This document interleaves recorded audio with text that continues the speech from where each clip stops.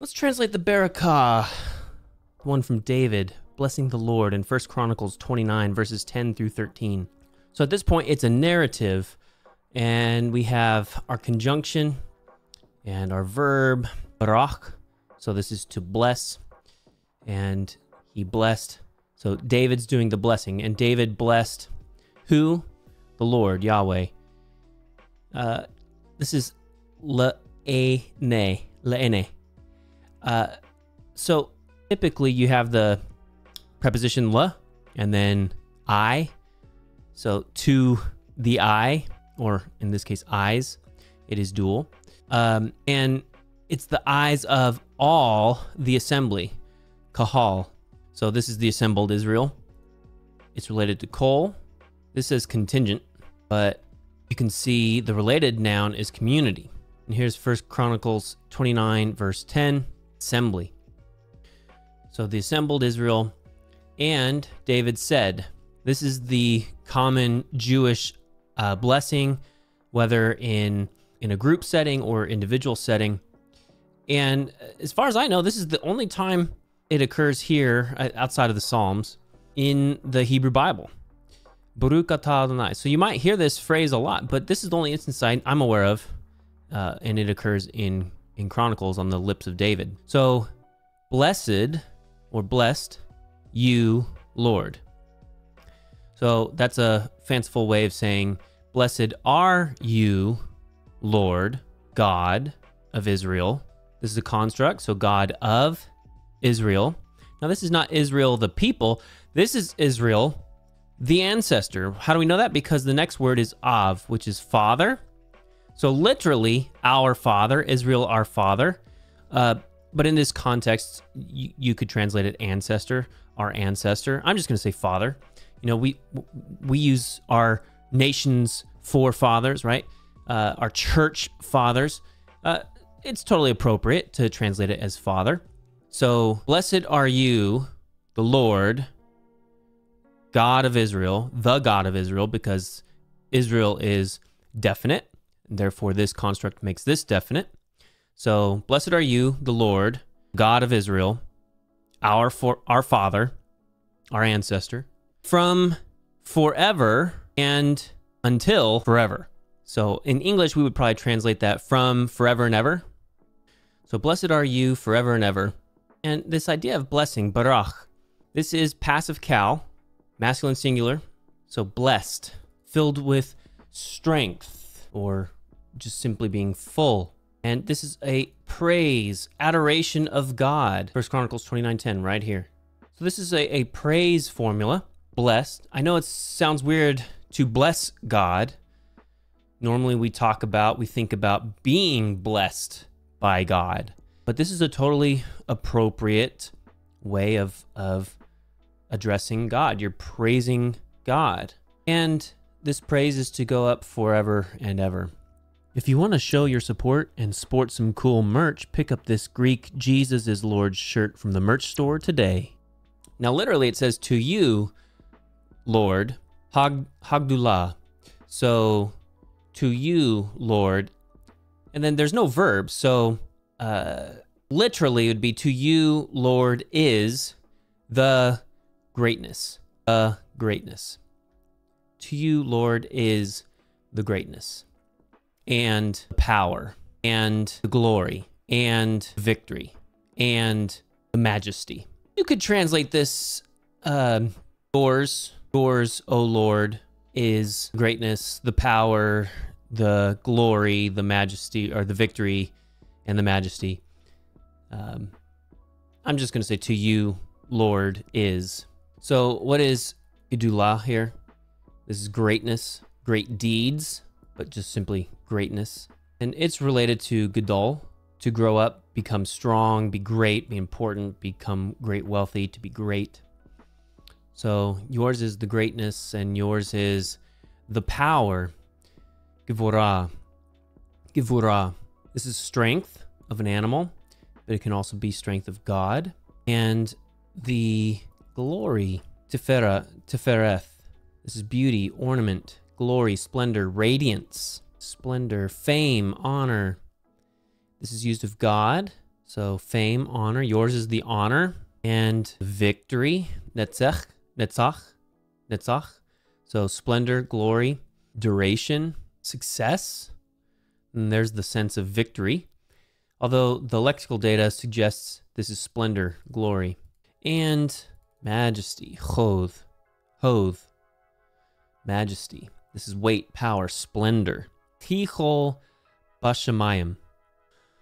So this could mean according to all in the heavens and in the earth. phrase ends with va'aretz. So this could mean thus that indeed, I think it's going to be verily indeed. So indeed, everything in the heavens and in the earth. To you, Lord, is the kingdom. This is singular and the exalted one. So this is a Hithpael participle with a hey definite article prefix. So nasa means to lift, carry, but Hithpael, which is way down here, there it is, imperfect, to raise oneself, arise. So this is reflexive, raise oneself. So to you, Lord, is the kingdom and the exalted, to all, to Rosh, head, to all to head. That doesn't make sense. The subject is still you and the Lord. To you, the Lord, is the kingdom, and you are exalted. Being Hithpael, it means something along the lines of raise oneself, arise. Now, this gloss here says, and whoever raises you as leader, but it's not whoever. The subject is you, the Lord. To you, the Lord is the kingdom. So I reject this, whoever raises you as leader. But I think it's it is and you are raised as leader of all. Let me know in the comments below what you think. Is this word to be translated as whomever you raise? Or do you think it's translated in reference to Yahweh, as I do, that you are raised? Let me know in the comments. So this Rosh is a noun, common, masculine, singular, absolute. Hair of the head, individual, person, head, height, peak, upper end, beginning, leader, chief of everyone. La could be in the genitive, and chol here meaning of all, of everyone. And riches, or wealth, and honor, or glory, heaviness, burden, riches, reputation, importance, glory, splendor, distinction, honor, testimonial, honor, glory to Yahweh from before you. So riches and glory are from before you, meaning your presence. Front, head, front, face of God with prepositions. El pene, ifne, from, before, on account of, by, in front of in front, before, before, according to, away from. So this is our exact word here, but it doesn't, in this context, you can tell it does not mean away from. Riches or wealth and glory come from you. It's this idea of source. You are the source of riches and glory. So they are before you, meaning they come from you. And you rule is Qal participle masculine singular, over all or over everyone. And in your hand is power and strength. And in your hand is greatness and strength for everyone. And in your hand is power. This is not the same word as before. We have koch, kocha, so violence, power, property, strength. Power is in your hand. And this one we saw before. Did we not? Ivura. There it is right there. We called it power before. So we'll call it power here. But ko, ko kocha, strength, power. We'll say strength for that. In your hand is strength and power. And in your hand is, and in your hand greatness. This is not the same as before. This was a noun. Now we have the verb. So here it's not simply just greatness. This is Piel, infinitive construct. So make greater, to praise, to honor, distinguish. With mean. Well, mean isn't attached to it. Oh, it's not it's not this one. It's with words to exalt, to praise, to honor, distinguish. So in your hand, to great and chazak, also Piel, make firm, strong, strengthen. With la, encourage. So this is encourage and this is to praise. In your hand is praise and encouragement for everyone. And 13. And now, our God, Hifil participle masculine plural absolute. This is yada, to praise. And now, thanks, our God, to you. There's no verb here. So we give thanks or praise. We praise, and now we pr- we praise our God. Here we see lach. Here we we had lecha yours. So this was praise, and now we have praise again. And praise, we praise your glorious name. This is Piel. Now we praise our God. So we praise you. But now, our God, we praise you. La here will be untranslated, but it marks the direction of this praise, and that's to you. And and we, being implied, we praise your glorious name.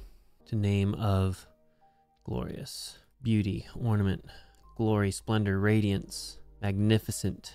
Ooh, magnificent. That's awesome. Now, what's the difference between yada and halal? In the hifil, it's to praise, confess, which is a tantamount to giving thanks.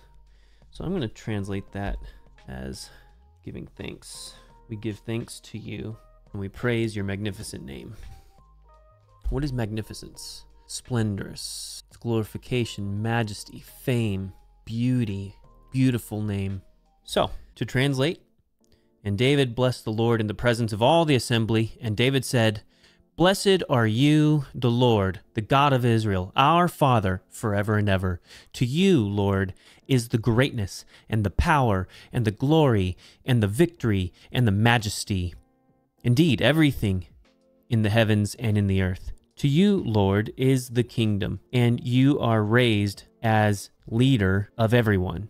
And the riches and the glory are from before you, and you rule over everyone. And in your hand is strength and power, and in your hand is praise and encouragement for everyone. And now, our God, we give thanks to you, and we praise your magnificent name. If you liked this video, hit the like button Go ahead and subscribe while you're at it and watch this video. Learn how to translate the Shema in Deuteronomy 6, verses 4 and 5. We'll see you next time.